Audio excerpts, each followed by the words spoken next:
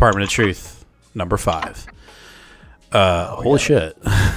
this again. This one was almost my pick of the week. I believe this is your pick of the week. Yeah, this, this is my pick of the week. So again, we are we are um, jumping into the mind of Tynion, um, and in in perfect fashion. When we feel like we have our foundation set, our feet are settled, he turns it upside down, and so uh, basically in this book, what we find out or what we're proposed is is the Department of Truth really the good guys? Who really is the good guy? Really? Like, are there really established good guys? Or are we all bad guys? Or are we all good guys? All bad guys.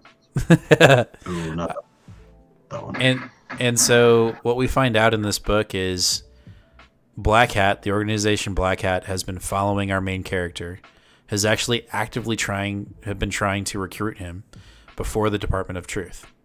but Department of Truth pulled a, a fast one on them and essentially um, got to him first and recruited him first. And Cole, I think his name is Cole. Um, he is reeling from the previous. So what? I said, whose husband's name is Maddie?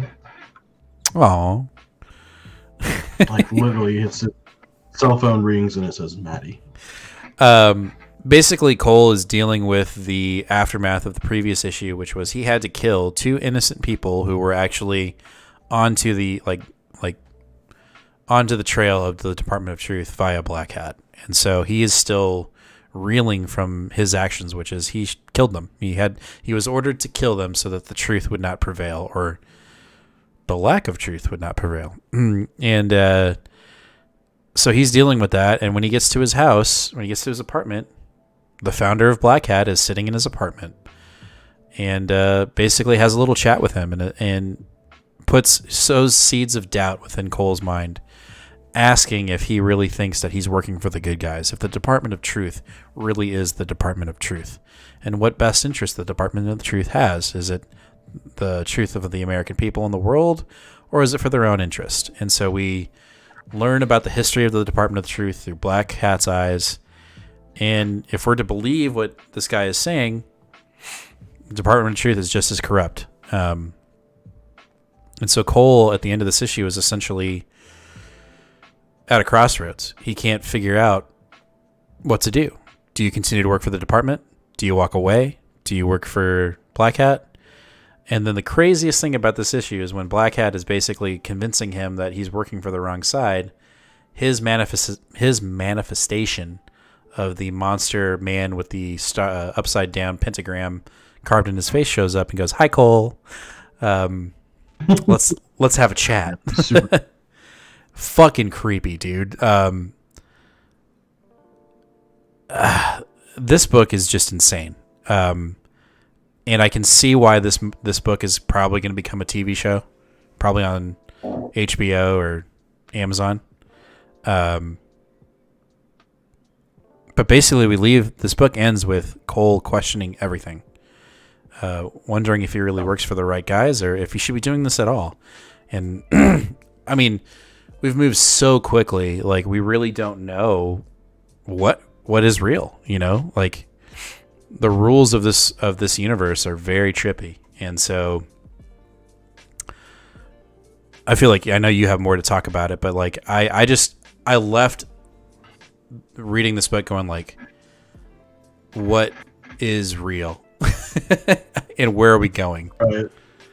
Well, and and that yeah, that's the whole point. That's so you know one of the things that I like about this book so much that it it took me a minute is is the art. Uh, the first issue, when I read this, I was like, I like the story, but the art's irritating because the art is completely abstract. There's nothing in this book that's just straight up just a panel, right? Like Hmm. everything is like faded and uh, there's splatter of paint and hard, sketchy lines. No one's face is really made out to be obvious. It's almost like it's disorienting, and that's the whole point. That's the whole point. Yep. When you're reading this book, you feel like you can't. Sometimes I feel like my eyes literally can't focus. Like I can't get a concrete hold of what's going on here, and I think that that is perfect for what this is. Yeah. Um, and I almost feel like uh, the, with the previous issues, as we've been going on, seeing a little bit more about how the Department of Truth works and and how Black Hat works, it's like okay, like setting starting to feel established, and I was enjoying that because it was comfortable, right? Like okay, Mhm. I'm starting to figure out what's coming on. Uh, things are starting to become more clear, and then all of a sudden, this book came comes out and it fucks all that up Yep. Everything you thought was going on isn't necessarily the truth. It's not as cut and dry as it is. The art in here was like extra sketchy and fuzzy and blurry. And it gave me that same frustrated, uneasy like feeling that I had after the first book. Mm. Um, that's why I liked it so much, is that literally just after five books in, it was already like reinventing itself almost, or or reestablishing what made it good saying like you know, you're not gonna you're not gonna get a, a finite hold on what's really going on here No. until until he wants us to. And twist.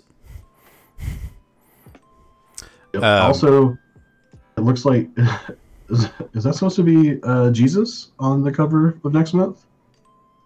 Oh yeah, I don't know, dude. Like uh I I feel like this book is like the definition of trigger, especially with like what we're dealing with in our country right now. Like I almost feel like this book is so like it's almost too much on the nose, right? But at the same time, it's like no, you write with you write about what you're dealing with in your current moment, right? And like Mhm. this book is the personification of what we're dealing with right now in our country, with people just literally believing that there are people, there, there, Democratic leaders are eating babies and drinking their blood at the bottom of a pizza restaurant. like, fuck. Uh, but you know, Tynion, Tynion is playing off that idea, and I think that he's about to become uber rich. Um, because when this thing turns into a TV show, everyone's gonna watch it.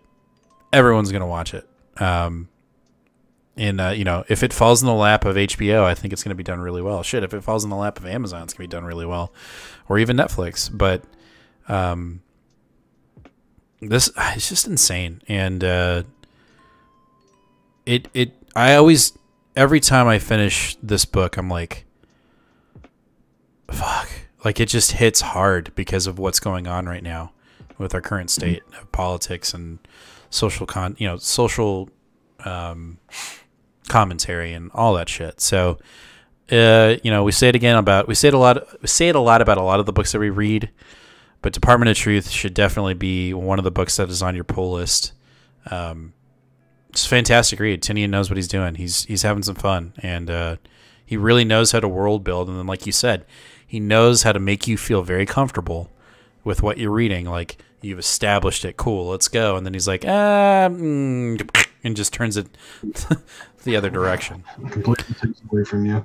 Yep.